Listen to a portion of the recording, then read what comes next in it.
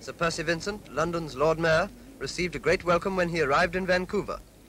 At the station, he was greeted by old Londoners and inspected the Royal Canadian Police.